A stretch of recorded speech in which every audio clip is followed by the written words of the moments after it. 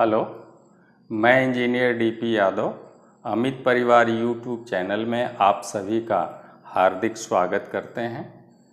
हम लोग पिछले दिनों सरल परिपथ एलिमेंट्री सर्किट में सेलों को श्रेणी क्रम, समांतर क्रम व मिश्रित क्रम में जोड़े। आज हम लोग उससे थोड़ा आगे चलेंगे और कुछ न्यूमेरिकल्स भी करेंगे और किरचाप्स का नियम पढ़ेंगे। किरचाप साहब ने दो नियम दिए थे।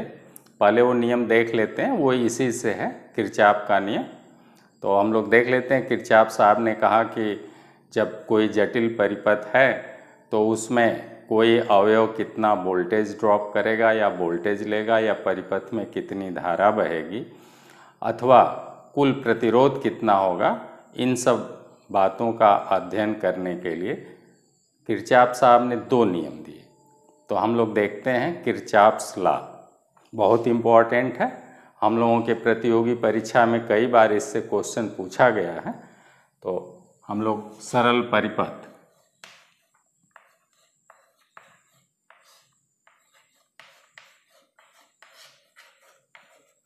ये हम लोगों का चैप्टर चल रहा है।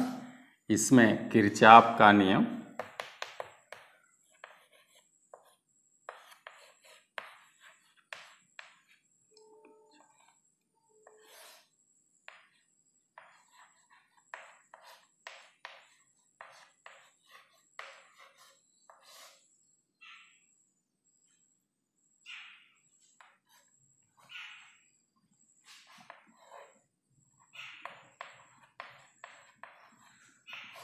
जटिल परिपथों में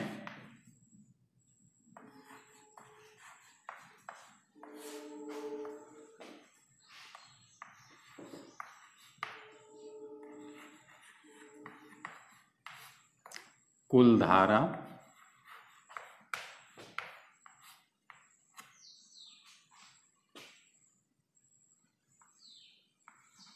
कुल धारा कामा अवयव पर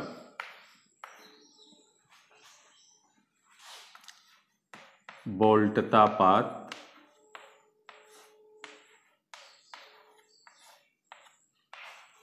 परिपथ का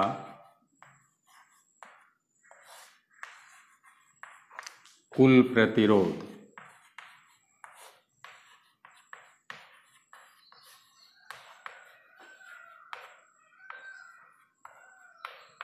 ज्ञात करने हेतु।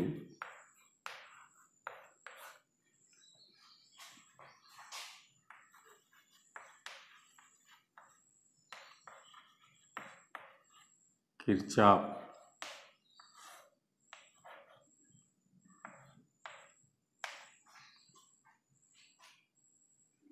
ने दो नियम दिए।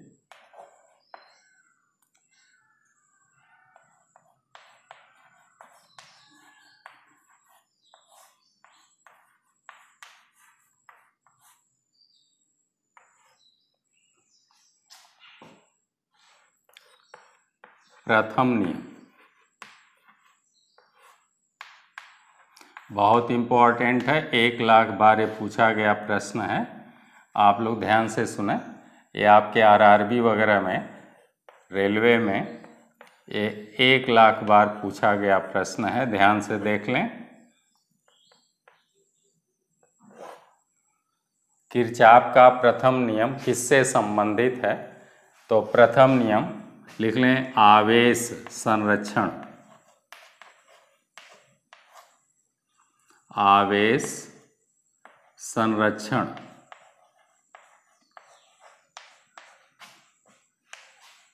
पर आधारित है। बहुत इम्पोर्टेंट है।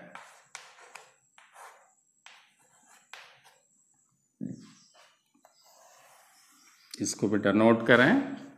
आवेश संरक्षण पर आधारित है प्रथम नियम। और नियम क्या है वो देख लें।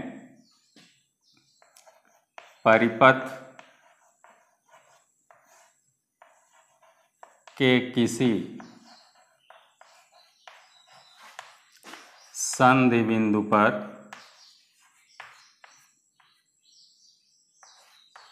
संधि बिंदु पर मिलने वाली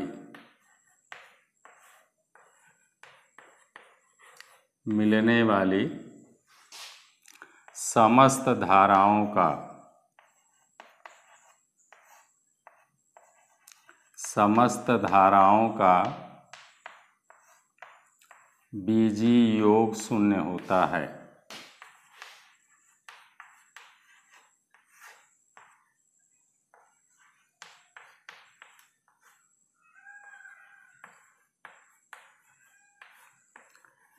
ये किरचाप साहब का पाला नियम है।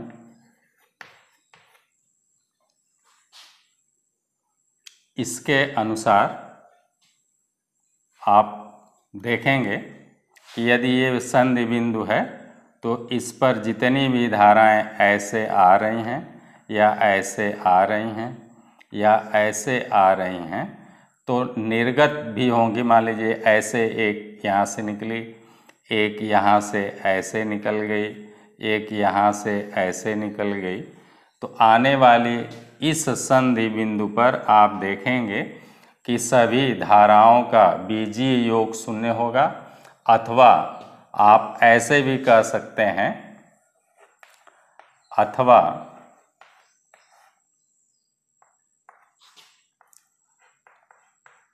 आने वाली आने वाली धाराओं का योग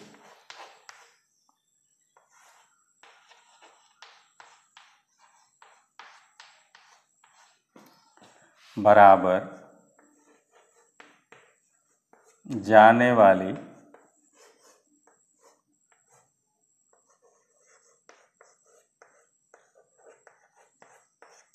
धाराओं का योग। आने वाली धार ऐसे भी इसी नियम को हम लोग ऐसे भी लिख सकते हैं, किरचाप साहब के अनुसार, परिपथ के किसी संधि बिंदु पर जितनी भी धाराएँ आती हैं और वहाँ से जितनी धाराएँ गुजरती हैं, सबका बीजीय योग शून्य होता है, यानी आने वाली धाराओं को एक साथ लेंगे और जाने वाली धाराओं को एक साथ लेंगे तो ऐसे भी लिख सकते हैं, आने वाली धाराओं का योग बराबर जाने वाली धाराओं का योग। आप, इसका मतलब ये हुआ, आवेश प्रवाह की दर को धारा कहते हैं, अर्थात जितनी धाराएँ आई, इसके मतलब कि जितने आवेश आए, उतने ही आवेश वहाँ से चले भी गए, गुजर भी गए, यानी जाने वाली धाराओं का योग। यानी आप यूँ भी कह सकते हैं कि अर्थात अर्थात जिस दर से, जिस दर से आवेश संधि बिंदु पर आता है संधि बिंदु पर आता है ये लिखाया गया संधि बिंदु पर आता है।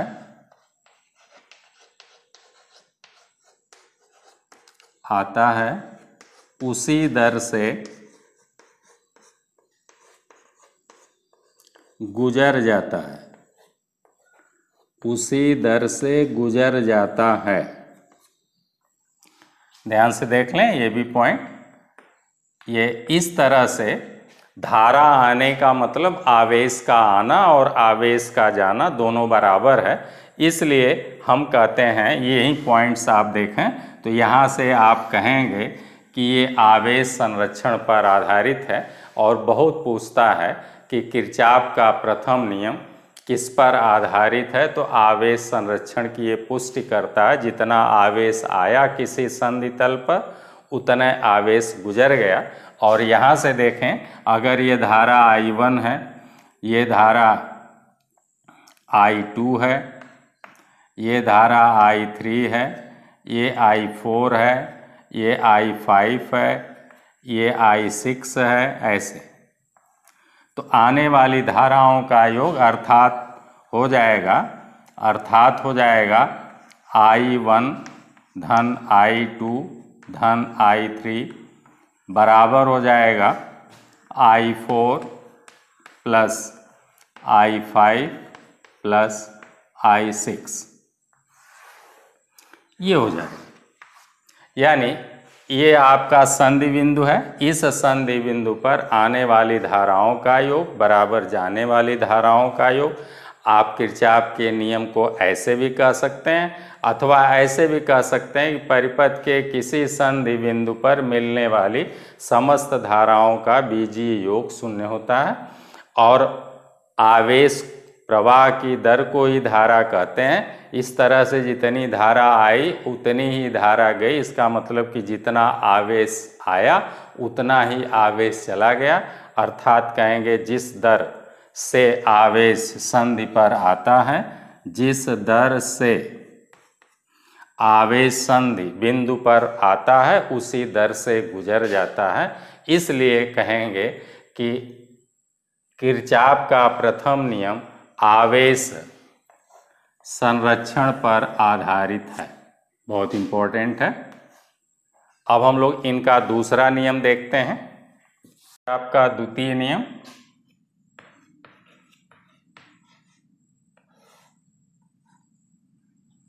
द्वितीय नियम, किसी बंद किसी बंद पास, जिसे लूप कहेंगे, बंद पास में परिणामी विद्युत वाहक बल परिणामी विद्युत वाहक बल कैपिटल ई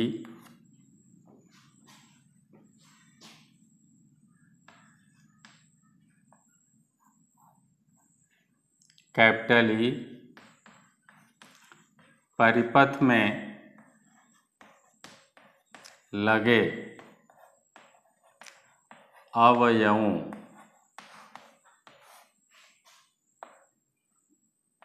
द्वारा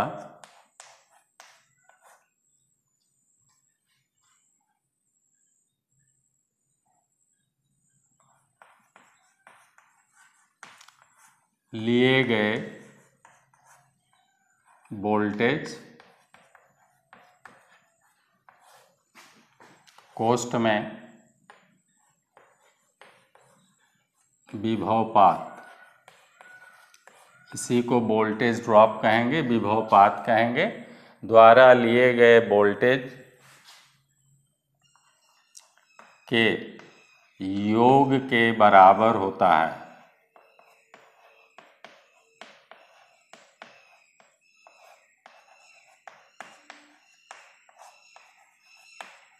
ध्यान से देख लें, किसी बंद पास या लूप या परिपथ में आप कहेंगे, परिणामी विद्युत वाहक बल ई परिपथ में लगे अवयवों द्वारा लिए गए वोल्टेज के योग के बराबर होता है। जैसे एक आपका परिपथ, ये मैं इधर परिपथ बना देता हूँ, ये परिपथ देखें। एक रेजिस्टेंस हमने यहाँ लगा दिया। और इधर बैटरी से या सेल से हमने जोड़ दिया।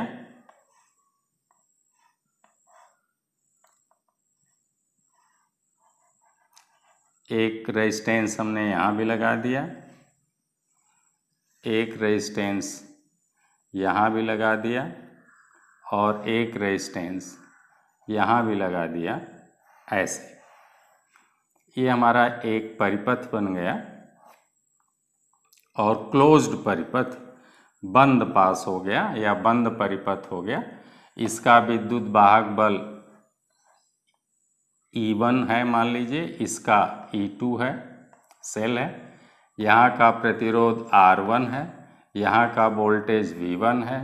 यहाँ का प्रतिरोध R2 यहाँ का वोल्टेज V2 यहाँ का, मान लेते हैं R3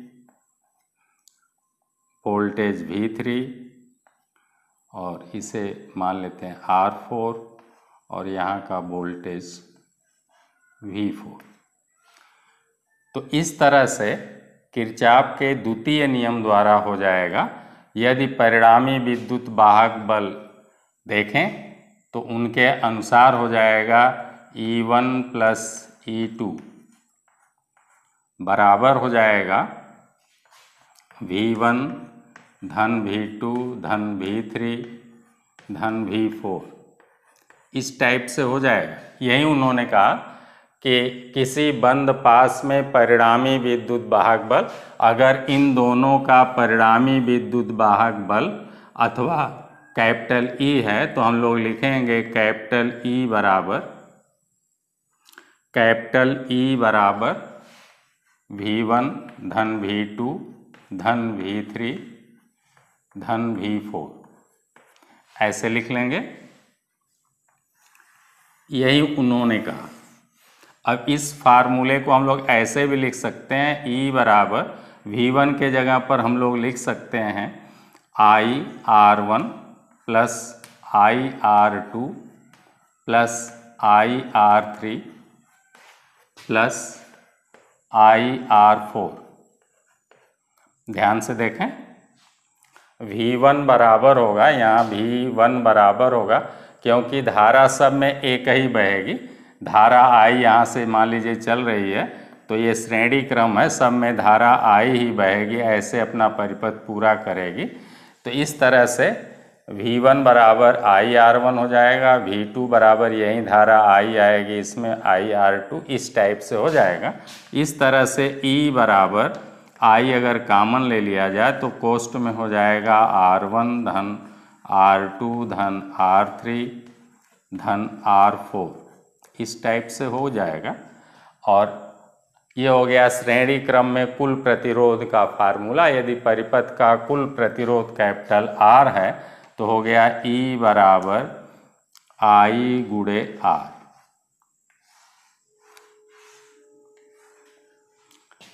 तो ये किरचाप के द्वितीय नियम का ये दूसरा रूप भी है कि कुल विद्युत वाहक बल, यही है, ई e हमारा कुल विद्युत वाहक बल है, यहाँ बेटा लिखा हुआ है।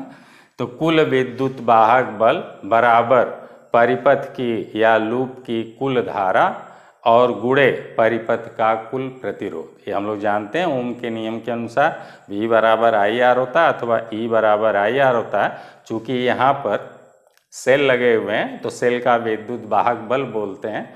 तो सेल का कुल विद्युत वाहक बल यदि कैपिटल E है तो वो बराबर होगा कुल धारा गुड़े कुल प्रतिरोध।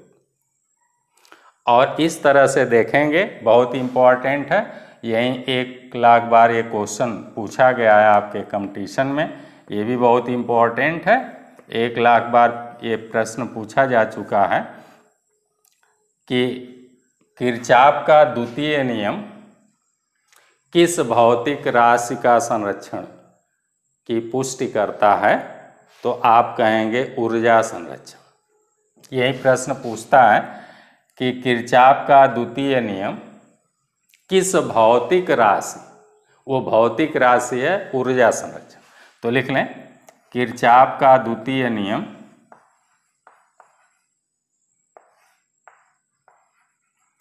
किरचाप का द्वितीय नियम।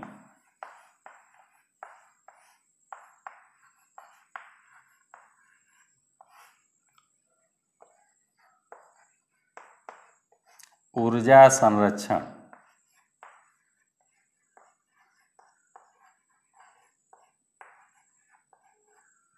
की पुष्टि करता है।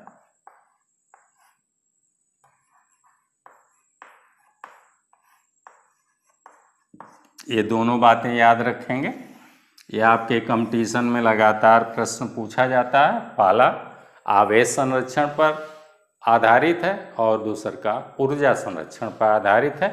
क्या किरचाप का द्वितीय नियम क्या है? वहीं वोल्टेज ज्ञात करना, यहाँ से कुल प्रतिरोध ज्ञात करना और कोई भी अवयव, ये सब एलिमेंट, यही अवयव एक ये आपने लगा दिया बेटा, चाहे बल्ब लगा दिया तो बल्ब का ये प्रतिरोध R1 हो गया। आपने हीटर लगा दिया, बल्ब का या हीटर का प्रतिरोध R2 हो गया।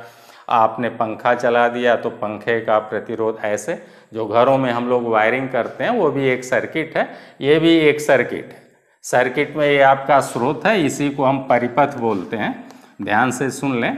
यही हमारा परिपथ है, इसी को अंग्रेज़ी में हम लोग सर्किट बोलते हैं। तो ये हमारा सर्किट है। सर्किट क्या है? जब हम संयोजन तार से कई भी एलिमेंटों को एक साथ जोड़ देते हैं, उसमें कहीं स्विच लगा देते हैं ऑन ऑफ़ करने के लिए, और उसे एक स्रोत से जोड़ते हैं, जो स्रोत जो है, उसमें सप्लाई देगा।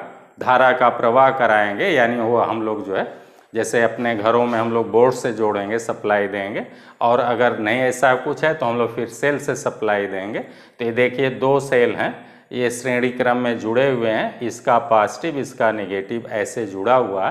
तो ये दोनों श्रेणी क्रम में वो विद्युत वाहक बल जुड़ जाता है। तो ये जैसे टॉर्च में लगाते हैं तो आप देखिए E1 और E2 जुड़ जाएँगे तो हो जाएगा E1 धन E2 और कह रहा है, वही आपने लिखा है कि परिणामी विद्युत वाहक बल तो परिणामी विद्युत वाहक बल हो गया E1 धन E2 और ये बराबर होगा प्रत्येक अवयव तो ये हमारा अवयव है, ये चाहे हीटर है, चाहे बल्ब है, चाहे ये पंखा है, चाहे इसी को अंग्रेज़ी में एलिमेंट बोलेंगे तो ये एलिमेंट है। तो इस पर जो है, जितना वोल्टता पात होता है अथवा ये जितना वोल्टेज लेता है, उस वोल्टेज के योग के बराबर होता है। परिणामी विद्युत वाहक बल सभी अवयवों द्वारा लिए गए वोल्टेज के योग के बराबर होता है तो ये वी वन वोल्ट मान लिया ले रहा है, ये वी टू ये वी थ्री इसके योग के बराबर यहाँ लिख दिया गया। और कितना ये वोल्टेज ले रहा है वी वन का मान अगर आपको ज्ञात करना होगा तो ये है बेटा वी वन बराबर आई गुड़े आर वन मैं ये कहूँ कि पहला प्रतिरोध आर वन का मान बताइए तो आप या आर वन कितना वोल्टेज ड्रॉप कर रहा है, उसी को कहेंगे वोल्टता पात विभव पात या वोल्टता पात कहेंगे, अथवा कहें कितना वोल्टेज वो ले रहा है तो आप कहेंगे वी वन बराबर ओम के नियम से आई गुड़े आर वन वोल्ट ले रहा है तो वहीं वी वन के जगह पर लिख दिया गया आई गुड़े आर वन ऐसे ही वी टू किसका है? तो दूसरे वाले प्रतिरोध आर टू जो है, वो वी टू वोल्टेज ले रहा। है क्योंकि आप पढ़ें कि श्रेणी क्रम में वोल्टेज का बंटवारा हो जाता है या वोल्टेज का विभाजन हो जाता है तो ये अपने हिसाब से जितना इसका रेजिस्टेंस होगा, उस हिसाब से ये वोल्टेज लेगा।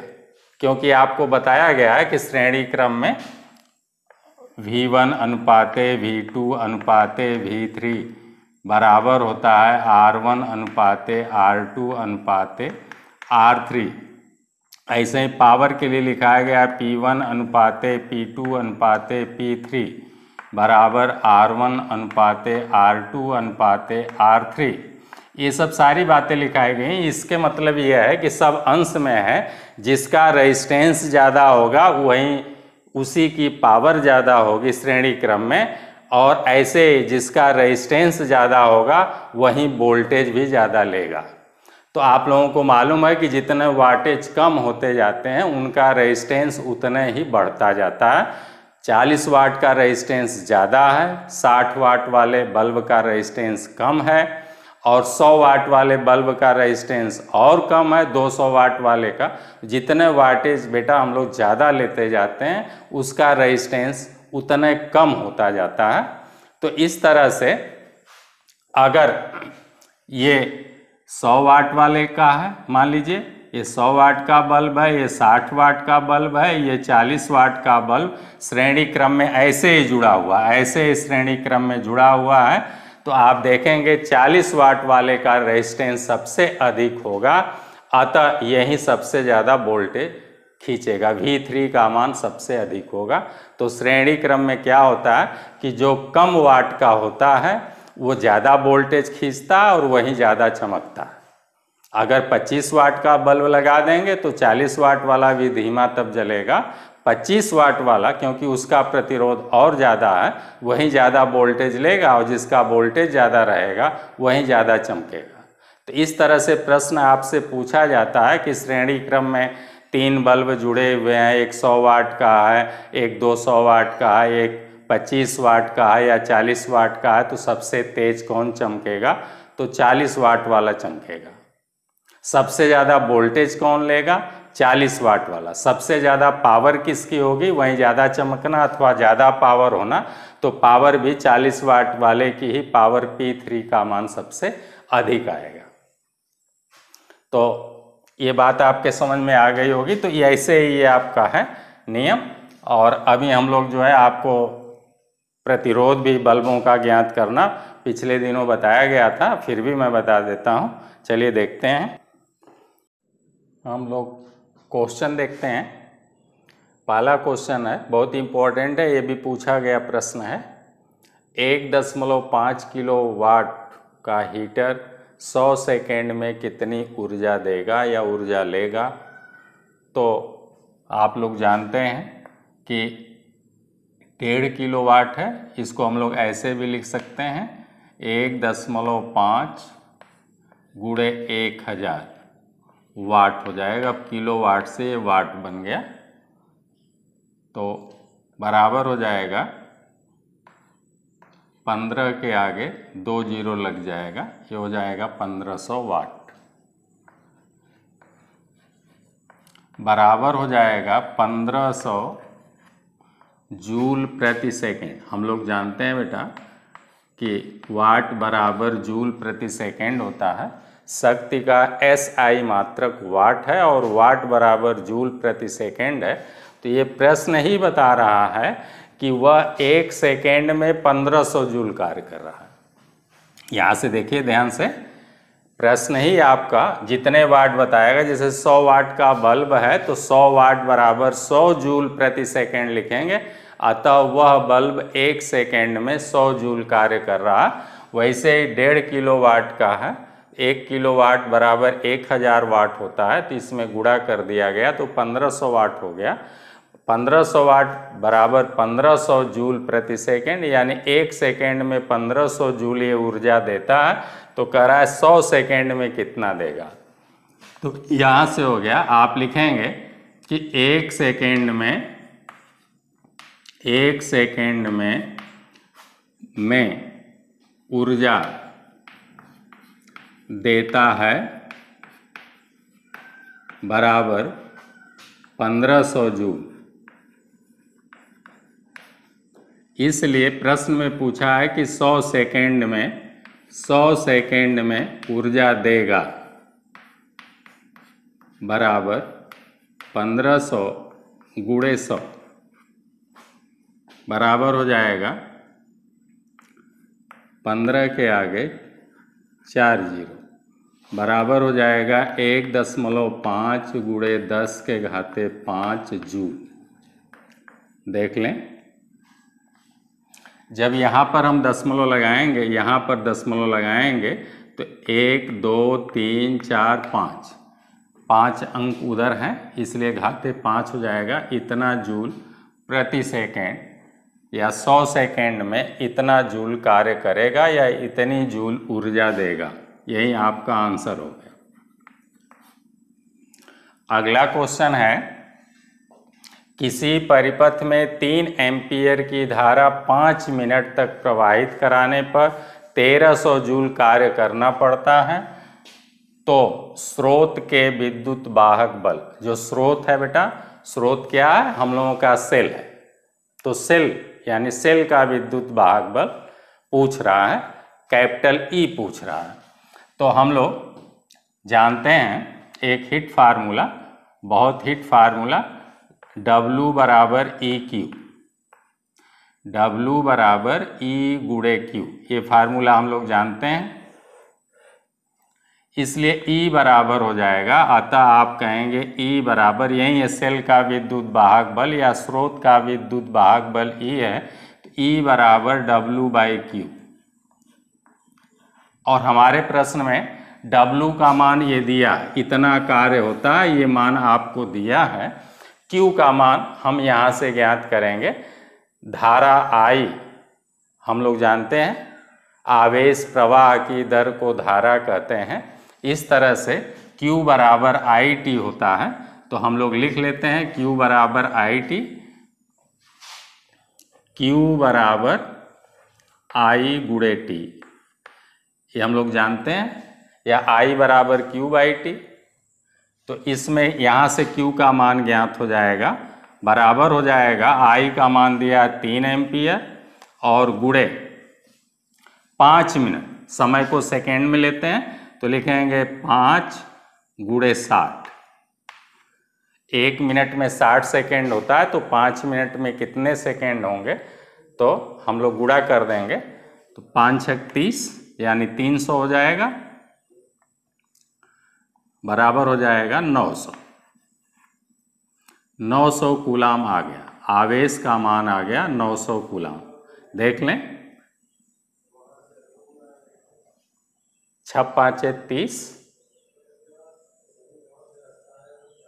तीन या नब्बे। और एक ज़ीरो बढ़ गया तो इतना हो गया कूलाम। अब हम लोग बेटा इसी में मान रख दें, इस सूत्र में मान रख दें तो हमारा आंसर आ जाएगा, अतः लिखेंगे, अतः ई बराबर, अतः ई बराबर लिखेंगे डब्लू का मान वहाँ से उतारें, तेरह पचास लिख लें, जूल, बटे क्यू का मान नौ सौ। तो यहाँ से नौ सौ रख लें, ये ज़ीरो से ज़ीरो कट गया, नौ से भाग देंगे तो नौ इकाइम नौ, और नौ पचे पैंतालीस, एक दशमलव पाँच। ये आ गया बोल्ट यही आपका आंसर हो गया। सेल का विद्युत वाहक बल E का मान या स्रोत के विद्युत वाहक बल E का मान आ गया 1.5 नौ से भाग देंगे तेरह में, एक बार भाग जाएगी, चार शेष हो जाएगा, नौ चार तेरह, और फिर नौ पचे पैंतालीस। ऐसे हो गया। अगला क्वेश्चन हम लोग देखते हैं। एक सेल का विद्युत वाहक बल दो वोल्ट है। जब इसे 25 ओम के प्रतिरोध से जोड़ दिया जाता, ये 25 ओम के प्रतिरोध से जोड़ रहे हैं तो ये कैपिटल आर का मान है। ये सेल का विद्युत वाहक बल कैपिटल ई का मान आपके प्रश्न में दिया है। तो इलेक्ट्रोनों के बीच का विभवांतर ये इतना कैपिटल वी का मान दिया है। रह जाता है तो सेल का आंतरिक प्रतिरोध ज्ञात कीजिए। तो सेल के आंतरिक प्रतिरोध के लिए हम लोग फार्मूला पढ़े हैं बेटा, कि स्मॉल आर बराबर, यही सेल का आंतरिक प्रतिरोध है, बराबर होता है ई माइनस भी बटे आई, और इसी को बराबर हम लोगों ने पढ़ा है ई माइनस वी बटे वी गुड़े आर। जब हम लोग आई को कन्वर्ट करेंगे ओम के नियम से तो आई बराबर होता है वी बटे आर और आई के जगह पर यहाँ पर जब भी बटे आर रखते हैं, आई के जगह पर तो ये आर पलट कर ऊपर चला जाता। है फार्मूला यही है, लेकिन ऐसे भी उसे लिखा जा सकता है। तो जहाँ जैसी डिमांड रहेगी, उस टाइप से हम फार्मूला लिख लेंगे। जहाँ पर हमारा ये वाला फार्मूला सेट हो रहा है, उस, वहाँ पर ये, यहाँ पर ये तो इसको हम लोग लिख लेते हैं। तो ई माइनस भी बटे भी गुड़े कैपिटल आर तो हम लोग यहाँ पर कैपिटल आर का मान दिया, इस रूप में ये वाला फार्मूला तब लिखेंगे। तो यहाँ से लिखेंगे सेल का आंतरिक प्रतिरोध, यही है स्मॉल आर बराबर ई e का मान दिया दो तो यहाँ पर लिखेंगे दो माइनस कैपिटल भी का मान एक दशमलव आठ दिया तो लिखेंगे एक दशमलव आठ।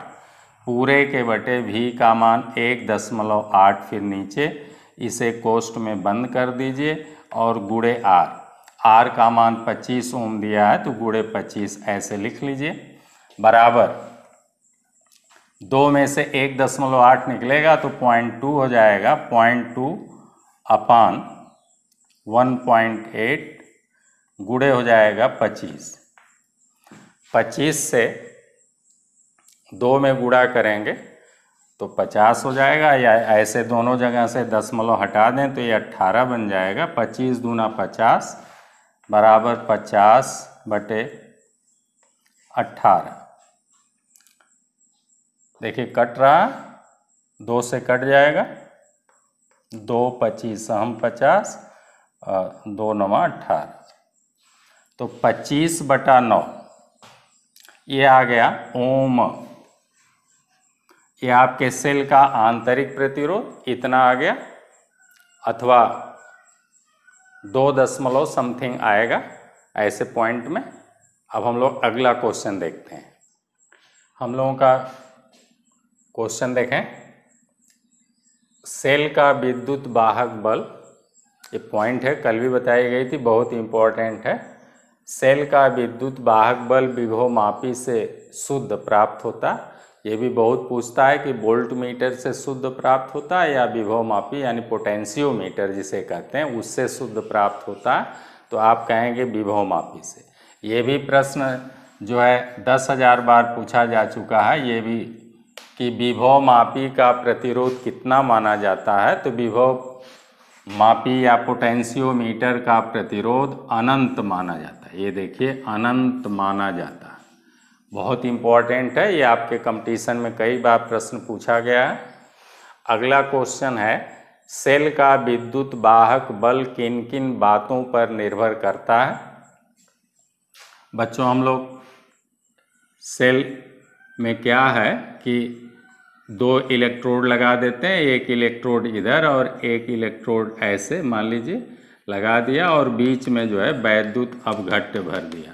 तो आपने देखा कि रासायनिक क्रिया के कारण ये धन विभव पर मान लीजिए आ गया और ये ऋण विभव पर आ गया तो इस तरह से इनमें एक विद्युत वाहक बल रासायनिक क्रिया के द्वारा यहाँ पर एक रासायनिक क्रिया होती है तो एक विद्युत वाहक बल ई उत्पन्न हो जाता है जनरेट हो जाता है, वो ड्यू टू रासायनिक क्रिया केमिकल रिएक्शन ऐसा होता है, क्योंकि ये क्षण जो है, उसमें डिजाल्व होता है, घुलता है जिससे एक जो है ऋण विभव पर आ धन विभव पर और एक ऋण विभव पर आ जाता है।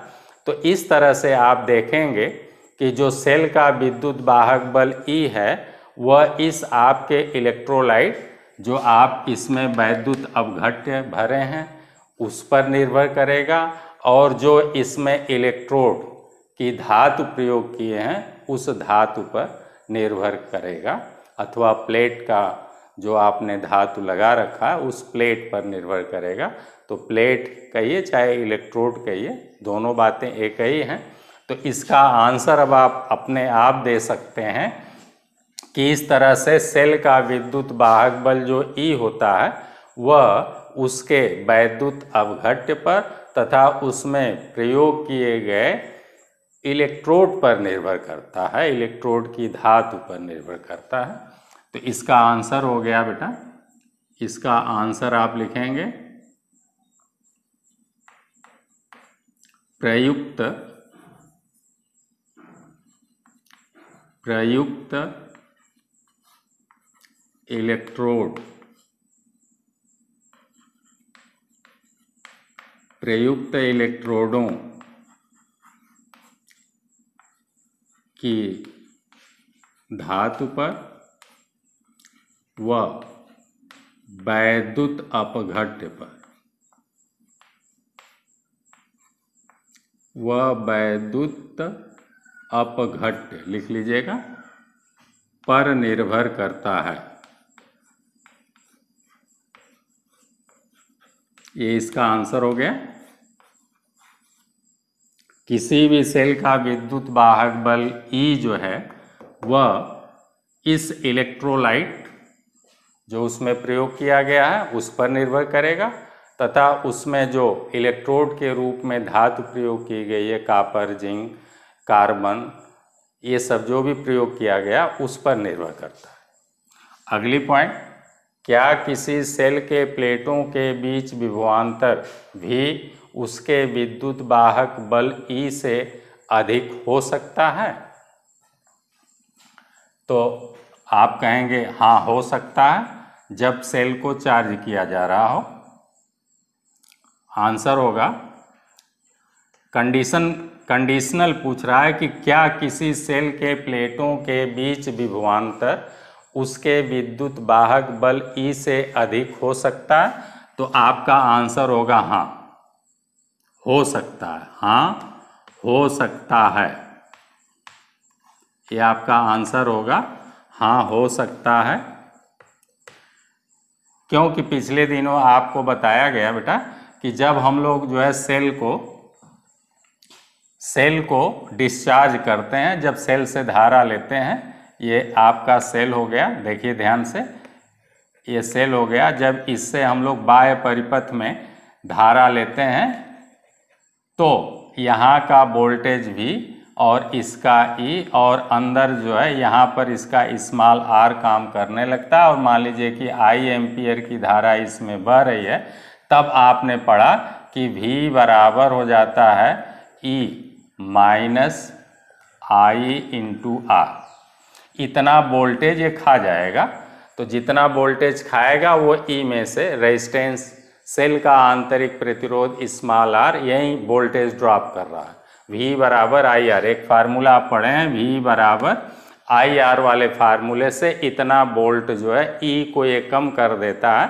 तो हो जाता है ई माइनस आई आर अब जितना यहीं बचा, यही हमें यहाँ पर मिलता है, इसलिए सूत्र बन गया कि वी बराबर हो गया ई माइनस आई आर तो इस तरह से आपने देखा ये कब है? ये जब हम सेल से धारा ले रहे हैं अथवा इसे डिस्चार्ज कर रहे हैं। सेल से धारा लेते समय अथवा डिस्चार्ज के समय ये फार्मूला है।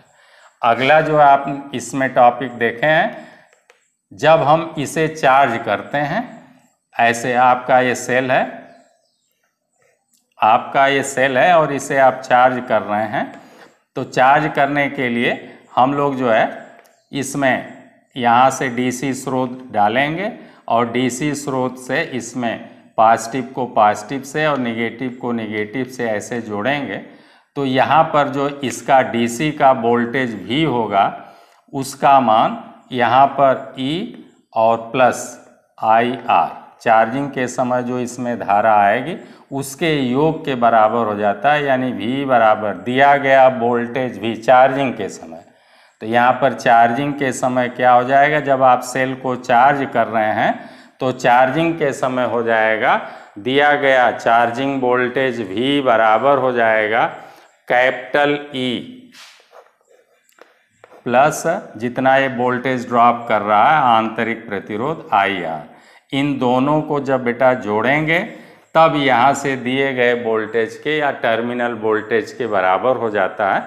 तो इस तरह से देखिए, एक बार जब हम डिस्चार्ज करते हैं, तब तो भी का मान ई से कम हो जाता है, क्योंकि ई में से इतना घट गया लेकिन जब हम चार्ज करते हैं तो हमारा टर्मिनल वोल्टेज ज़्यादा होता है और प्रेरित विद्युत वाहक बल सेल का कम होता है और इसमें आई आर जब जोड़ते हैं, तब इसका योग जो है, टर्मिनल वोल्टेज भी के बराबर होता है।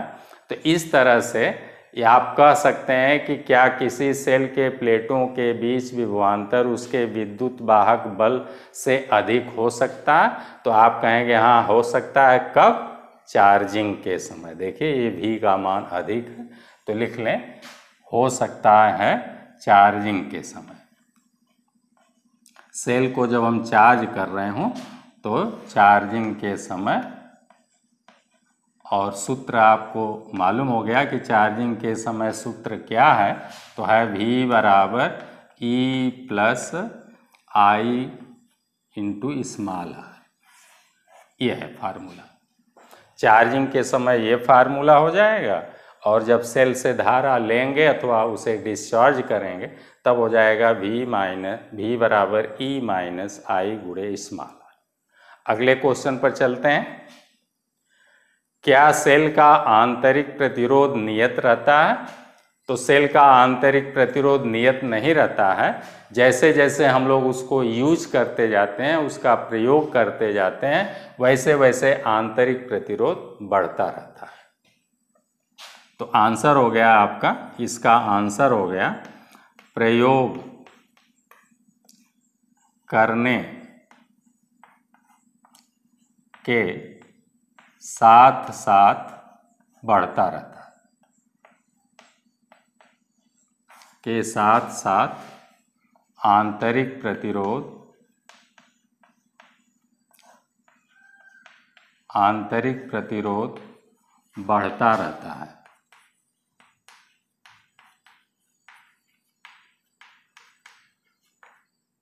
आंतरिक प्रतिरोध बढ़ता रहता है।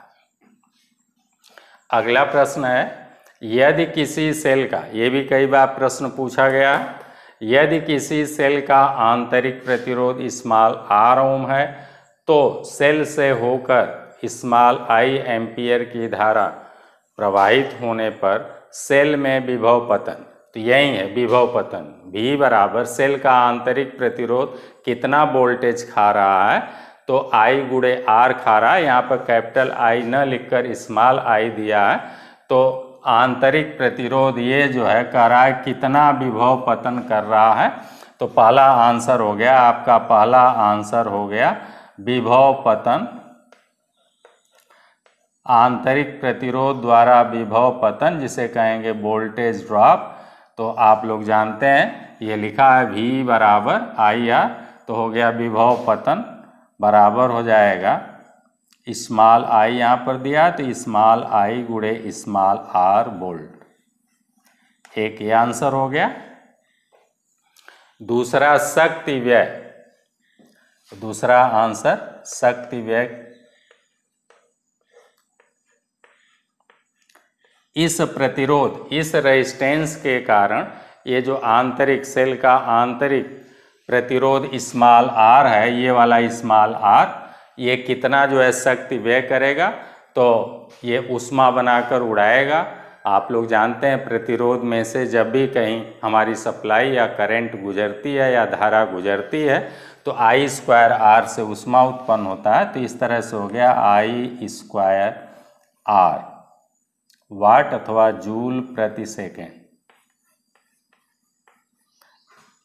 इतना जो है, ये शक्ति व्यय करेगा। ये दोनों आंसर हो गया। यहाँ पर आर हम लोग स्मॉल लिए हैं सेल वाला है तो हो जाएगा आई स्क्वायर आर वाट अथवा जूल प्रति सेकेंड या इसी को वाट कहेंगे।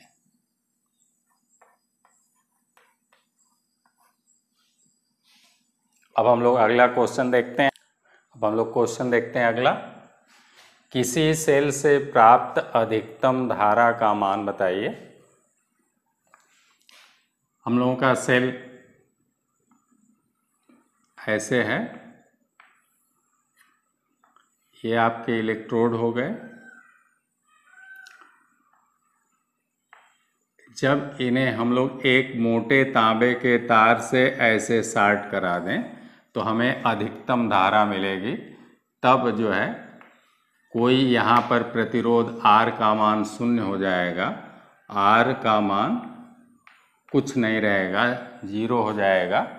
उस समय आप देखेंगे बाय प्रतिरोध कैपिटल आर बराबर ज़ीरो हो जाएगा तो हमें सेल से अधिकतम धारा मिलेगी और तब केवल यही आंतरिक प्रतिरोध इसका स्मॉल आर काम करेगा, क्योंकि सेल का कुछ न कुछ आंतरिक प्रतिरोध स्मॉल आर रहेगा ही। तो हम लोग लिखेंगे, हम लोग ऑलरेडी जानते हैं अगर धारा इसमें से आई एम्पियर की जा रही है आई एम्पियर की जा रही है तो हो जाएगा, अब हो जाएगा ई e बराबर आई आर वी बराबर जैसे आई आर होता है, वैसे हो जाएगा ई e बराबर आई गुड़े आर इसलिए आई बराबर आई मैक्स बराबर हो गया मैक्सिमम धारा बहेगी, बराबर हो जाएगा ई e बटे स्मॉल आर यही आंसर हो गया। यही आपका आंसर हो गया कि मैक्सिमम धारा का मान होगा, मैक्सिमम धारा का मान ये हो गया। चूँकि जब हम लोग सेल को बाह्य प्रतिरोध आर का मान शून्य करने के लिए हम लोग क्या करें, केवल दोनों टर्मिनल को मोटे तांबे के तार से यदि, मोटे तांबे के तार का प्रतिरोध नगण्य हो जाएगा तो मैक्सिमम धारा इसमें प्रवाहित होगी और तब मैक्सिमम धारा जब प्रवाहित होगी तो ओम के नियम के अनुसार हो जाएगा। जैसे वी बराबर आई आर होता है तैसे हो जाएगा ई बराबर आई गुड़े स्मॉल आर काम केवल करेगा। तो हो जाएगा इस तरह से मैक्सिमम धारा का मान हो जाएगा ई बटे स्मॉल आर एम्पियर यही आपका आंसर हो गया। अगला क्वेश्चन है, जब बैटरी को चार्ज किया जाता है तो बैटरी के अंदर धारा किस प्लेट से, किस प्लेट की ओर बहती है बेटा? तो ध्यान से देखें, ये आपका सेल है, ये आपका इलेक्ट्रोड है, और ये भी इलेक्ट्रोड है, एक इसमें पॉजिटिव इलेक्ट्रोड है, एक निगेटिव है, बकिया इलेक्ट्रोलाइट इसमें भरा हुआ ध्यान से समझ लेंगे।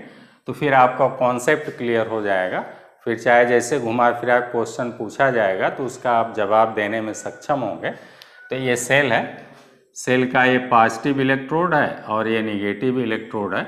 कह रहा है कि जब उसे हम चार्ज करते हैं तो चार्ज डीसी से ही करेंगे। यहाँ से डीसी सप्लाई हम लोग देंगे और डीसी का ये सिरा ले आकर इसमें जोड़ेंगे और ये सिरा ले आकर इसमें जोड़ेंगे और चार्जिंग के समय धन को धन से जोड़ते हैं और ऋण को ऋण से जोड़ते हैं। तो यहाँ से हम जो है टर्मिनल वोल्टेज, जो भी चार्जिंग वोल्टेज देंगे और फिर तो अब आप देखेंगे कि जब हम लोग प्लस को प्लस से जोड़ते हैं और माइनस को माइनस से जोड़कर और हम लोग डीसी सप्लाई द्वारा सेल या बैटरी को अपने चार्ज करते हैं, चाहे वो आपके मोबाइल की बैटरी क्यों ना हो तो उसमें हम लोग डीसी सप्लाई देंगे।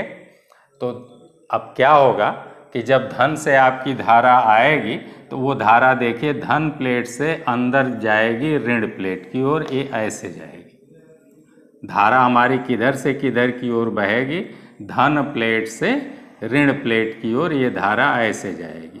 तो वही पूछ रहा है कि बैटरी के अंदर धारा किस प्लेट से, किस प्लेट की ओर जाएगी? तो धन प्लेट से, क्योंकि हमेशा धन से धारा का बहना माना जाता है तो धन से धारा इलेक्ट्रोलाइट के अंदर ऋण प्लेट की ओर जाकर ऐसे सर्किट अपनी पूरी करती रहेगी। तो इसका जवाब हो गया आंसर हो गया सेल के अंदर धारा धन प्लेट से, धन प्लेट से ऋण प्लेट की ओर बहेगी। ऋण प्लेट की ओर बहेगी।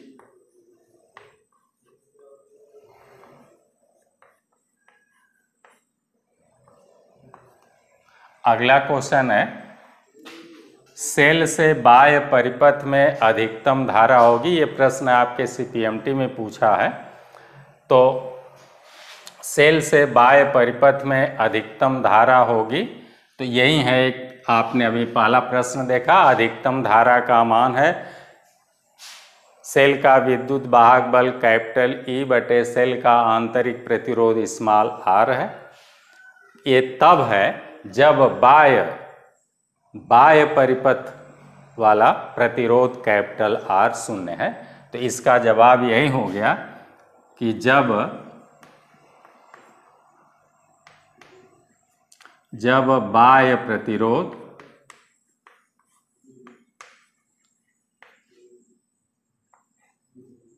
कैपिटल आर का मान शून्य हो, अर्थात कैपिटल आर बराबर ज़ीरो होने पर कैपिटल आर बराबर एस में प्रश्न पूछा गया है तो सेल से बाय परिपथ में अधिकतम धारा होगी। जब बाय परिपथ का प्रतिरोध कैपिटल आर का मान शून्य होगा, और वो अधिकतम धारा का मान ये है, अधिकतम धारा होगी, कैपिटल ई बटे स्मॉल आर तब यहाँ का आर शून्य हो जाएगा, केवल ये आंतरिक प्रतिरोध स्मॉल आर ही काम करेगा। तो ओम के नियम से ई e बराबर आई गुड़े स्मॉल आर अगर ये कैपिटल आर भी रहता तो यहाँ पर आर धन स्मॉल आर हो जाता, ऐसे हो जाता। आई गुड़े कोस्ट में capital R plus small R चूँकि स्मॉल आर ज़ीरो है, इसलिए जो है केवल अब कैपिटल आर ज़ीरो है, इसलिए स्मॉल आर ही फार्मूले में आएगा। तो अगर आपसे पूछता है कि बाह्य परिपथ में अधिकतम धारा होगी तो आप कहेंगे जब बाह्य परिपथ का प्रतिरोध कैपिटल आर का मान शून्य होगा और फिर पूछता है कि वो अधिकतम धारा कितनी होगी? तो वो अधिकतम धारा होगी कैपिटल ई e बटे स्मॉल आर एम्पियर। अगला क्वेश्चन है बेटा 50 वोल्ट की एक बैटरी, ये भी प्रश्न आपके सीपीएमटी में पूछा गया प्रश्न है, ये भी आपके सीपीएमटी में पूछा है प्रश्न। ये भी आपके सीपीएमटी में पूछा गया प्रश्न है। 50 वोल्ट की एक बैटरी 10 वोल्ट के बाह्य प्रतिरोध के साथ जोड़ दी जाती है। के साथ जोड़ दी जाती है। यदि परिपथ में धारा चार दशमलव पाँच एम्पियर हो तो बैटरी का आंतरिक प्रतिरोध क्या होगा? ये पूछ रहा है तो हम लोग जानते हैं। कि धारा आई बराबर होता है, धारा आई बराबर ई e बटे capital R plus small R इस फार्मूला आपको लिखाया गया। जैसे आप पढ़ते हैं वी बराबर आई आर ओम के नियम से V बराबर आई आर तो ऐसे ही हो गया। अब सेल का विद्युत वाहक बल ई बराबर आई गुड़े आर। अब आर कितना है बेटा? तो आर आप कहेंगे कि अगर यहाँ पर आप कोई आर जोड़े हैं तो ये आर और प्लस ये स्मॉल आर। तो कुल श्रेणी क्रम में हो गया, कुल प्रतिरोध हो गया, capital R plus small R इतना हो जाएगा।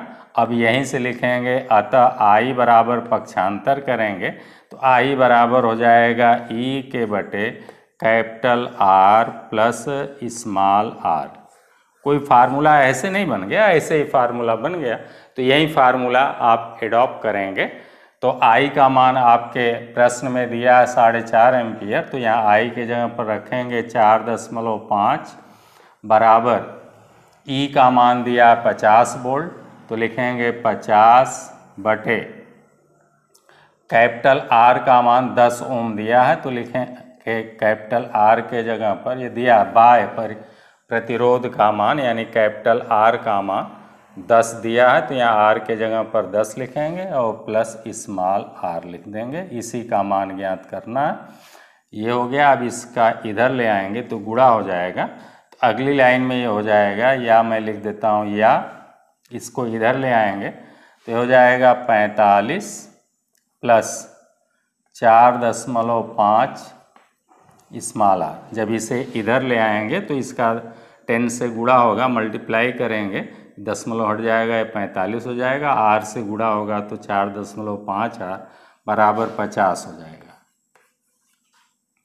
अगली लाइन में लिखेंगे चार दशमलव पाँच आर बराबर पचास माइनस पैंतालीस बराबर पाँच। इसलिए स्मॉल आर बराबर लिखेंगे पाँच के बटे चार दशमलव पाँच। बराबर, चाहे तो ऐसे कर सकते हैं, पचास बटे पैंतालीस। पैंतालीस एक कम पैंतालीस, फिर पाँच से, फिर पचास हो जाएगा, पैंतालीस एक कम पैंतालीस। यानी एक दशमलव एक दशमलव एक ओम आ गया इस तरह से। यही हमारा आंसर हो गया। आंतरिक प्रतिरोध ये स्मॉल आर ही आंतरिक प्रतिरोध है। सेल का आंतरिक आंतरिक प्रतिरोध स्मॉल आर बराबर आ गया। 1.1 ओम, ये हो गया हम लोगों का आंसर। अब हम लोग आगे चलते हैं। हम लोग अगला क्वेश्चन देखते हैं। दो प्रतिरोध R1 व R2 जिनमें दिया है आपके प्रश्न में कि R1 is less than R2 R1 सबसे कम है। किससे? R2 से कह रहा है समांतर क्रम में जुड़े हैं। तो तुल्य प्रतिरोध कैपिटल आर के लिए सत्य है। ये सी में आपके प्रश्न पूछा है। बहुत इजी प्रश्न है। आपको समांतर क्रम में ये पहले ही बताया जा चुका है कि समांतर क्रम में एक सौ ओम का, एक पचास ओम का और एक जो है दशमलव एक ओम का प्रतिरोध अगर जुड़ा है तो उस परिपथ का या परिणामी प्रतिरोध का मान या तुल्य प्रतिरोध का मान सबसे कम से कम जोड़े गए प्रतिरोध से भी कम हो जाता है। तो अगर दशमलव एक ओम का भी जोड़ें सौ ओम का, पचास ओम का और पच्चीस ओम का फिर दशमलव एक ओम का ये चारों प्रतिरोध यदि किसी परिपथ में समांतर क्रम में लगे हैं तो इनके परिणामी प्रतिरोध का मान दशमलव एक ओम वाले से भी कम आएगा, आंसर या कम हो जाएगा। तो ये बात आपको सबसे पहले ही लिखाई गई है समांतर संयोजन में कि इनमें जोड़े गए, समांतर क्रम में जोड़े गए प्रतिरोधों में से जो सबसे कम प्रतिरोध होता है परिणामी प्रतिरोध का मान या उस परिपथ के कुल प्रतिरोध का मान उस न्यूनतम प्रतिरोध वाले मान से भी कम हो जाता है। तो इस तरह से आप देखेंगे कि R1 is less than R2 है और कह रहा है कि जुड़े हैं और तुल्य प्रतिरोध कैपिटल आर परिणामी प्रतिरोध कैपिटल आर जो होगा, वह R1 से भी कम हो जाएगा, क्योंकि R2 से R1 कम है और सबसे जो कम प्रतिरोध होगा, उससे भी तुल्य प्रतिरोध आर का मान कम हो जाएगा। तो आपका कौन सा इसमें से विकल्प सही है? तो ये गलत है, ये भी गलत है, ये भी गलत है। अब आप देख रहे हैं, केवल R is less than R1 सबसे कम प्रतिरोध हमारा यहाँ पर R1 है। और उससे भी कम परिणामी कैपिटल आर या तुल्य प्रतिरोध कैपिटल आर हो जाएगा तो हमारा ये वाला विकल्प सही क्लियर हो गया? अगला क्वेश्चन ए भी आपका जो है सीपीएमटी में पूछा गया प्रश्न है कि दो असमान प्रतिरोध। असमान है, एक मान लीजिए कि 10 ओम है, एक 100 ओम है दो असमान प्रतिरोध समांतर क्रम में जुड़े हैं तो कौन सी बात उनके लिए सत्य है? पहला विकल्प दिया है कि दोनों में धारा समान बहेगी, गलत है। जब एक 10 ओम का है एक 100 ओम का है, समांतर क्रम में है तो दोनों में धारा भिन्न भिन्न बहेगी। बड़े प्रतिरोध में धारा अधिक बहेगी, नहीं, बड़े प्रतिरोध में धारा कम बहेगी। एक कह रहा दोनों में वोल्टता पतन समान है। यही आपका विकल्प सही है, क्योंकि हम लोग पढ़े हैं कि समांतर क्रम में हर जगह वोल्टेज समान होता है। समांतर संयोजन में प्रत्येक एलिमेंट पर या प्रत्येक अवयव पर आपका जो है वोल्टेज समान होता है। हम लोगों के घरों में भी जो वायरिंग होती है वो समांतर क्रम में ही होती है, झालर श्रेणी क्रम में जोड़ा जाता है।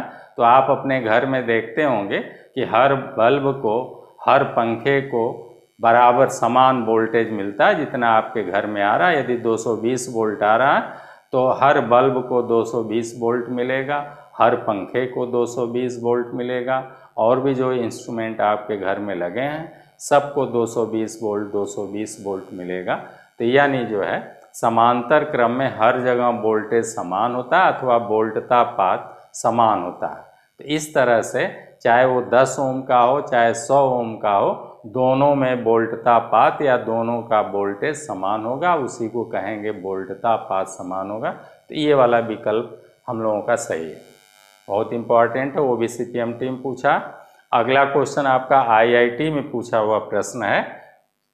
एक सर्किट दिया त्रिभुज टाइप का बना दिया। इसमें तीस तीस ओम के हर भुजा में, तीनों भुजा में एक प्रतिरोध लगा दिए गए हैं तीस तीस ओम के, और उसे दो बोल्ट के सेल से सप्लाई दी जा रही है तो इसमें परिपथ में कै एम्पियर की धारा, कितने एम्पियर की धारा प्रवाहित होगी, ये क्वेश्चन पूछ रहा है आईआईटी में पूछा तो हम लोग देखेंगे, धारा आई चलेगी तो धारा का विभाजन हो जाएगा, कुछ इस रास्ते से चलेगी और कुछ इस रास्ते से चलेगी। जो इस रास्ते से चलेगी, वहीं इस रास्ते से होते हुए आगे अपना परिपथ पूरा करेगी। और जो इस रास्ते से आएगी, वो इधर आगे चली जाएगी।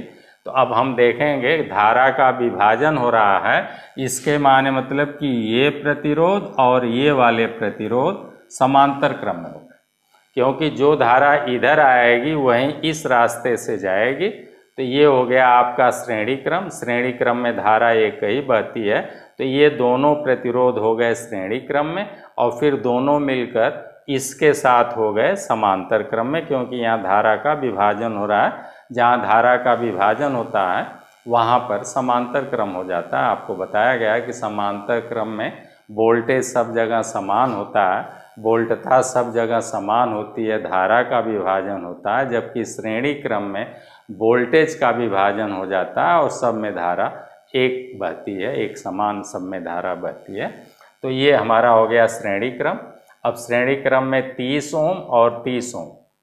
आपको ओरली याद हो गया, तीस तीस, साठ ओम हो गया और साठ ओम इस तीस ओम के साथ समांतर क्रम में जुड़ा हुआ है।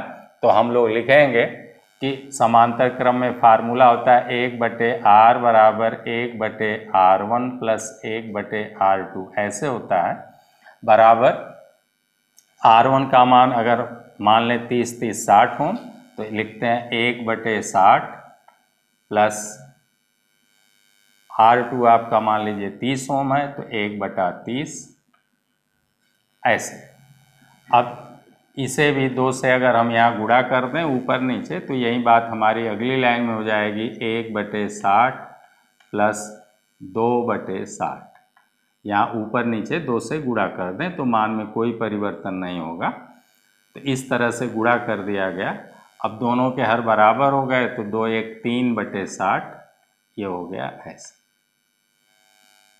अब हम लोगों को एक बटे आर बराबर तीन बटे साठ है, इसलिए पलट दें आर बराबर तो उधर भी पलट जाएगा तो जाएगा साठ बटे तीन बराबर ट्वेंटी ओम आ गया तो इस तरह से परिपथ का कुल प्रतिरोध, ये पूरे का प्रतिरोध आ गया आपका ट्वेंटी ओम।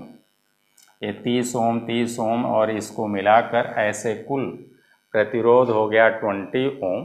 अब कितने एम्पियर की धारा ये दो बोल्ट के सेल से जाएगी तो हम लोग लिखेंगे E बराबर आई आर अथवा V बराबर आई आर तो लिखेंगे E बराबर आई आर से।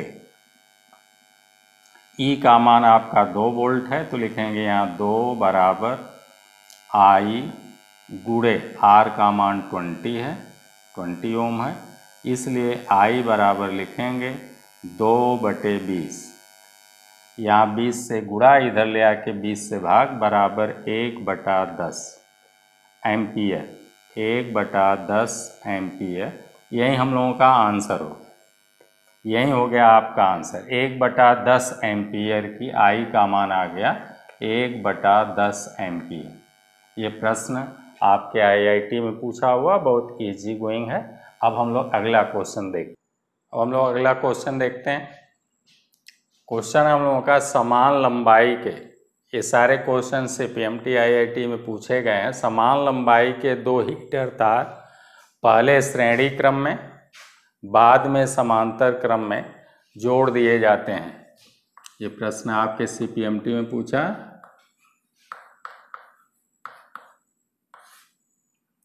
क्रम में जोड़, जोड़े जाते हैं, इन दोनों दशाओं में उत्पन्न उष्माओं का अनुपात क्या होगा? पूछ रहा है। तो पहले श्रेणी क्रम में जोड़ रहे हैं। मान लीजिए कि दो हीटिंग एलिमेंट हैं, हीटर के, एक आपका ये एलिमेंट है, और फिर एक आपका जो है, ये एलिमेंट है, ये आपका श्रेणी क्रम बन गया। तो अगर बेटा इसका प्रतिरोध आर है और इसका भी प्रतिरोध आर मान लिया जाए तो कुल प्रतिरोध हो जाएगा श्रेणी क्रम में। ये श्रेणी क्रम की बात हो रही है। पहले दिया है श्रेणी क्रम। पहले श्रेणी क्रम में लगे हैं तो हम लोग पहले श्रेणी क्रम की बात करते हैं। तो कुल प्रतिरोध हो गया। श्रेणी क्रम में सीधे जोड़ देते हैं तो कुल प्रतिरोध हो गया, कुल प्रतिरोध कुल प्रतिरोध बराबर टू आर ओम हो जाएगा। और जब प्रतिरोध दो गुना हो जाएगा तो धारा इसमें आधी हो जाएगी। यदि इसमें धारा आई एम्पियर की इसमें बह रही है, आई एम्पियर की इसमें बह रही है, लेकिन अगर दोनों को श्रेणी क्रम में जोड़ देंगे तो धारा आधी हो जाएगी। मान लीजिए वैसे धारा आई एम्पियर की बहती तो अब धारा का मान हो जाएगा आई बटे दो एम्पियर। प्रतिरोध दो गुना तो धारा आधी।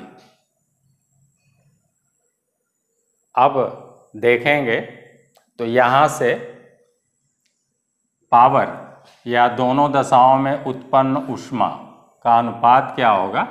तो श्रेणी क्रम में उष्मा बराबर होता है आई स्क्वायर आर उष्मा का सूत्र है आई स्क्वायर आर इसमें मान रख दें तो आई जो है आधी हो गई है तो लिखेंगे आई बटे दो का वर्ग गुड़े आर। आर हो हमारा टू आर। ऐसे लिख लेंगे। बराबर हो गया आई स्क्वायर बटे चार। दो का वर्ग चार हो जाएगा, गुड़े टू आर। दो से कट जाएगा, बराबर हो जाएगा। आई स्क्वायर आर बटे दो। इतना आपका वाट या जूल प्रति सेकेंड।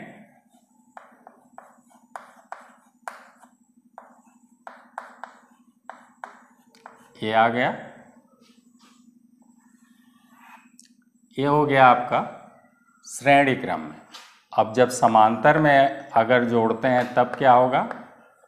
दोनों प्रतिरोधों को समांतर क्रम में जोड़ेंगे, तब समांतर क्रम में आप जानते हैं कि हम लोग वन बाई आर से जोड़ेंगे तो हो जाएगा, कुल प्रतिरोध हो जाएगा, ऐसे हो जाएगा एक बटे आर बराबर हम लोग जोड़ते हैं एक बटे आर वन प्लस एक बटे आर टू से ऐसे जोड़ते हैं। तो इस तरह से ये अगर प्रतिरोध मान लीजिए कि आर आर दोनों के हैं तो ये लिखेंगे एक बटे आर प्लस एक बटे आर बराबर दो बटे आर। ऐसे लिख लेंगे। अगर कुल प्रतिरोध आर डैश है या ऐसे मान लें तो हो गया इतना। अब इसको पलट देंगे। तो परिणामी प्रतिरोध, परिपथ का परिणामी प्रतिरोध, परिपथ का परिणामी प्रतिरोध, इसको पलटेंगे। तो बराबर हो जाएगा, ये भी पलट जाएगा, हो जाएगा आर बटे दो ओम। अब जब प्रतिरोध पहले से आधा हो जाएगा, समांतर क्रम में प्रतिरोध पहले से आधा हो जाएगा तो धारा दो गुने हो जाएगी। तब परिपथ में धारा दो गुनी बहेगी। पहले आई बह रही थी तो अब टू आई बहेगी। ध्यान से देख। लें यदि किसी परिपथ का प्रतिरोध आप दो गुना कर देंगे तो धारा आधी हो जाएगी और किसी परिपथ का प्रतिरोध यदि आधा कर देंगे तो धारा दोगुनी हो जाएगी। तो इस तरह से अब देख रहे हैं कि समांतर क्रम में अगर दोनों एलिमेंटों को जोड़ दिया जाता तो इस फार्मूले से अगर जोड़ेंगे तो प्रतिरोध पलट जाएगा तो हो जाएगा आर बटे दो ओम, यानी पहले से आधा हो गया, पहले आर आर ओम था, अब हो गया आर बाई टू ओम। और धारा तब हो जाएगी टू आई।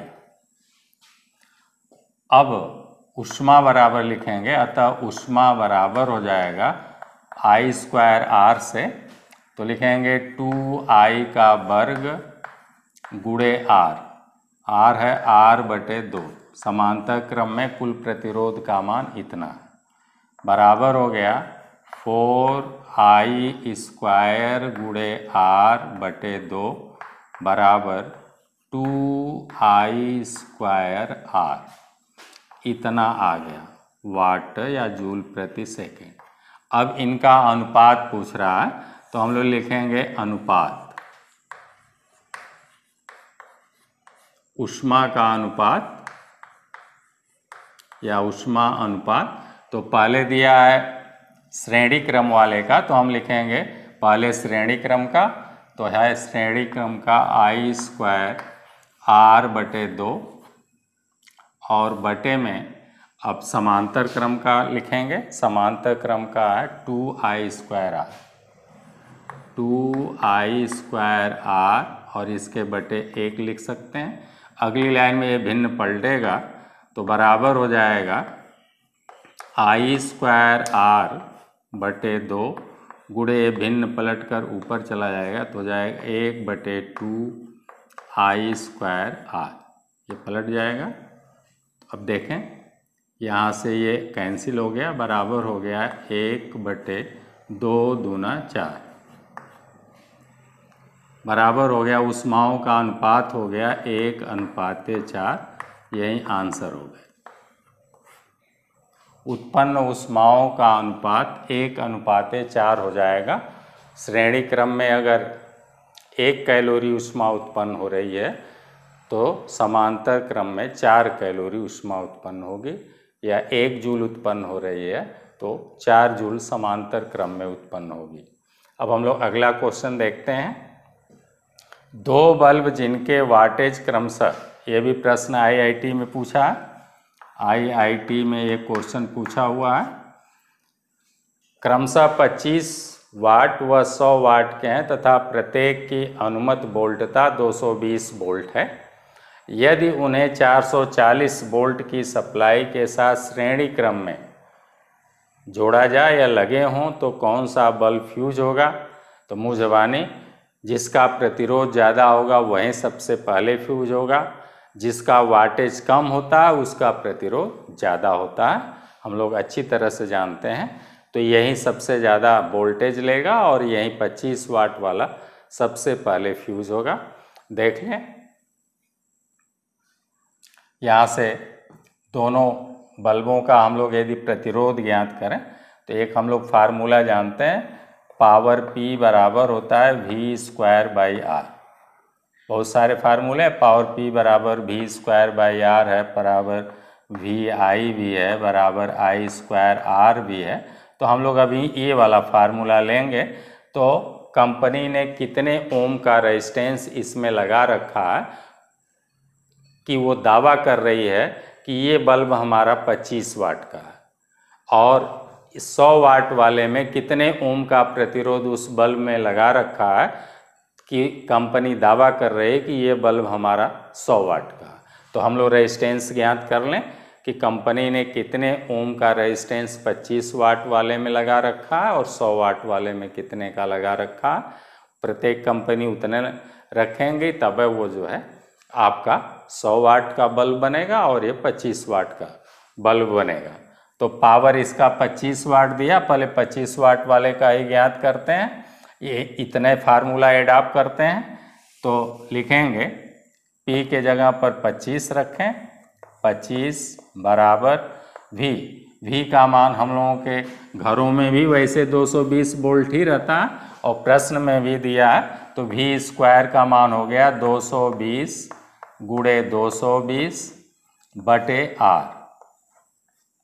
इस आर को इधर ले आएँगे तो हो जाएगा अगली लाइन में आर बराबर 220 गुड़े 220 बटे 25 यहाँ 25 आ जाएगा, ये हो जाएगा 25 वाटे 200 फिर 25 वाटे 200 आठ दशमलव आठ आ गया। आठ दशमलव आठ में 220 से गुणा करेंगे तो या यहाँ से दशमलव हटा दें तो 88 हो जाएगा। 88 में 22 से गुणा करें तो ये आएगा 1936 1936 ओम आएगा। तो हमें मालूम हो गया कि 25 वाट वाले बल्ब का, ये 25 वाट वाला बल्ब का प्रतिरोध है 1936 और ऐसे 100 वाट वाले बल्ब का प्रतिरोध अगर ज्ञात करें तो लिखेंगे 100 वाट वाले बल्ब का रेजिस्टेंस R बराबर 220 गुड़े 220 बटे 100 देख लें। जैसे यहाँ पर 25 बटे में आया था 25 वाट, वैसे वहाँ पर बटे में 100 वाट आ जाएगा। ये ज़ीरो ज़ीरो, इससे कट गया ये, इससे। ये हो गया बाईस बाईस हम चार सौ चौरासी।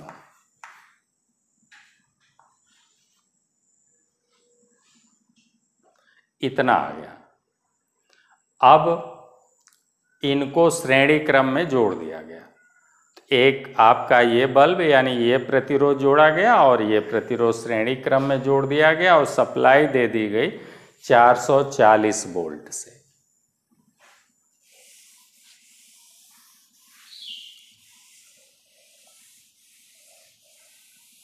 इसको मिटा देते हैं। अब आप देखेंगे कि श्रेणी क्रम में इनको जोड़ दिया, ऐसे श्रेणी क्रम में जोड़ दिया। ये आपका 25 वाट वाला है, जिसका प्रतिरोध जो है 1936 ओम है 1936 ओम है। और फिर ये प्रतिरोध है आपका 100 वाट वाले का, जिसका प्रतिरोध चार सौ चौरासी ओम है। इनको आपने सप्लाई दे दिया 440 वोल्ट की 440 वोल्ट की आपने सप्लाई दे दिया यहाँ से। अब देखिए, आपको मालूम है कि जो भी इसमें श्रेणी क्रम में क्या है, जो भी धारा जाएगी, वो धारा आई सब में एक ही बहेगी। धारा सब में एक ही बहेगी और आपको लिखाया गया है कि वोल्टेज का बंटवारा हो जाएगा, यहाँ वोल्टेज V1 मान लीजिए, यहाँ वोल्टेज V2 तो श्रेणी क्रम में, धारा सब में एक ही बहती है, वोल्टेज का विभाजन हो जाता है, और ऐसे ही तब हो जाएगा, आप लिखेंगे श्रेणी क्रम में कि विशेषता लिखेंगे, श्रेणी क्रम में आपको लिखाया गया V1 अनुपाते V2 अनुपाते V3 बराबर होता है। आर वन अनुपाते आर टू अनुपाते आर थ्री ऐसे होता है।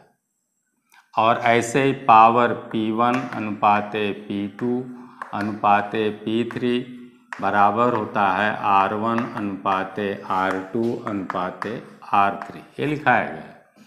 इन दोनों बातों से आप देख रहे हैं कि अब जिसका प्रतिरोध अधिक होगा, वहीं वोल्टता भी अधिक लेगा और जिसका प्रतिरोध अधिक होगा, उसी की पावर भी अधिक होगी। तो यहाँ पर 25 वाट वाले का प्रतिरोध आर सबसे ज़्यादा 1936 ओम है। तो यही सबसे अधिक 440 में से यही सबसे ज़्यादा वोल्टेज लेगा और इसी की पावर भी अधिक होगी, सबसे अधिक यही चमकेगा। जो ज़्यादा वोल्टेज लेगा, जिसको ज़्यादा वोल्टेज मिलेगा, वही ज़्यादा प्रकाश देगा। तो यहाँ की अगर हम लोग जो है वोल्टेज की बात करें, प्रकाश की बात वो पावर की बात करें तो यहाँ का वोल्टेज V बराबर आई आर से आप देखेंगे तो V बराबर यहाँ का वोल्टेज V1 बराबर हो जाएगा I गुड़े आर वन यानी 1936 और ऐसे इसका बात करें तो इसके लिए हो जाएगा, इसका V2 बराबर हो जाएगा धारा सब में एक ही बहेगी, आई ही बहेगी तो आई गुड़े इसका प्रतिरोध चार सौ चौरासी ऐसे। अब आप देख रहे हैं कि आई जो है दोनों में सेम है, इसलिए कोई फ़र्क नहीं पड़ता है। आई को अगर निगलेक्ट कर दें तो बोल्टता जो है सीधे प्रतिरोध के समान अनुपाती वहीं लिखाया गया है वी वन अनुपाते वी टू अनुपाते वी थ्री बराबर ये हो गया आर वन अनुपाते आर टू इस तरह से है। ऐसे ही पावर पावर पी बराबर वी आई होता है।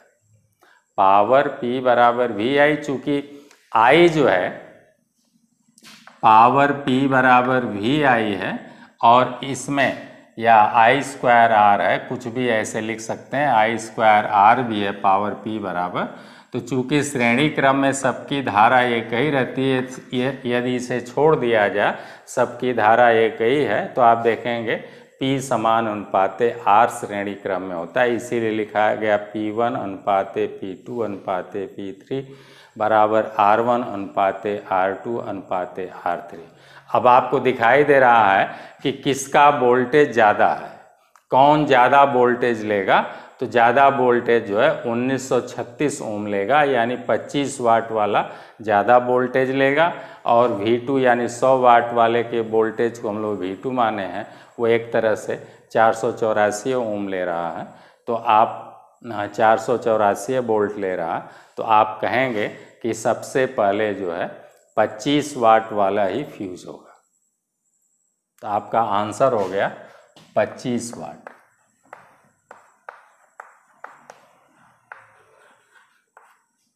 इसी का वोल्टेज ज़्यादा, ये देखिए भी इसी का ज़्यादा, जिसका ज़्यादा वोल्टेज होगा, वहीं ज़्यादा प्रकाश देगा और वहीं ज़्यादा सबसे पहले दगेगा। तो इस तरह से ये टॉपिक हम लोगों की मैक्सिमम कवर हो गई और अब हम लोग जो है शेष अगले वीडियो में देखेंगे। तब तक के लिए आप लोगों को ढेर सारी शुभकामनाएँ।